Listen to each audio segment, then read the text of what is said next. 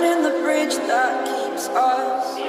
I'm here and I'm feeling, feeling. Exaggerated, that's what you assume. The story's over now, I must conclude.